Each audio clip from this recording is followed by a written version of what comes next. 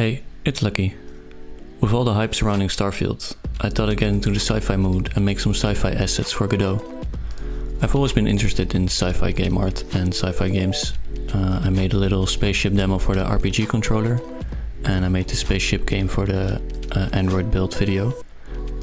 But now with Starfield I wanted to make some first-person sci-fi assets. What you're looking at now is the result of 4 days of tinkering and trying to create some sci-fi assets. The whole scene is basically just built up of a 3D tile set, which I'll link below so you can play around with it too. This wasn't the first attempt though to making a sci-fi looking scene, so let me take you on a little trip of where I started, what I learned and how I got here. My first attempt was a huge disaster.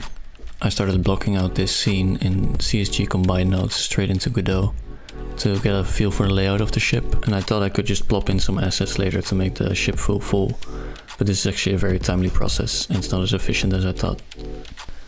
So I decided to start from scratch. Uh, this time I went visuals first without thinking about layout or gameplay. And I just made this tube, it's basically just a space module. It was inspired by the ISS and some uh, concept art I saw of NASA punk on Pinterest. And although the renders for this build came out beautiful and I think it has a lot of potential, it was also very timely. This one scene took me four to five hours just to put together and it's not even that complex. And the main thing I'm looking for in these Tinker sessions uh, is efficiency. So even though the renders were beautiful, this scene was not right for game dev. After this I started looking into what other game asset creators were doing. I browsed CG Traders and Unreal Marketplace and found out that the techie style of uh, sci-fi really lends itself well to 3D tile sets. And so I got to work. Uh, I watched this video on one hour of Greeble on the Blender channel. I would recommend it to anybody who uses Blender for 3D modeling. There's a lot of fun little techniques to get sci-fi looking uh, models really quickly. I'll link it below as well. So yeah, I started making the walls and the floors and the panels and creating these custom textures. They're super basic, just black and white images with some grids and a little dirt map on top to break up the surface. Creating tile sets is always so much fun because you create one tile and just put it in an array modifier and you get to see the result of your giant wall and the possibility of bigger spaces that can be made with these small assets. So it was quite a fun and fast process to creating larger spaces.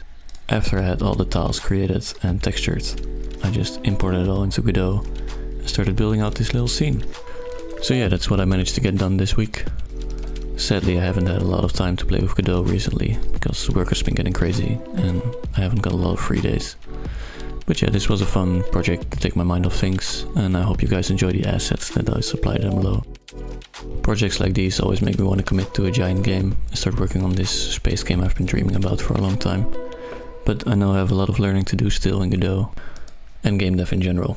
So I'm not gonna commit to anything yet. I'm just gonna tinker around for a little bit, learn new techniques, teach people some stuff, and hopefully one day down the road I can get started on my giant spaceship. But for now, I'm sorry for the short video uh, and no tutorial this week. I'm hoping I can get some more days off soon so I can get back on top of some projects I want to do and show you guys some awesome new stuff. But for now, enjoy the rest of the time lapse and I'll see you guys soon. Bye!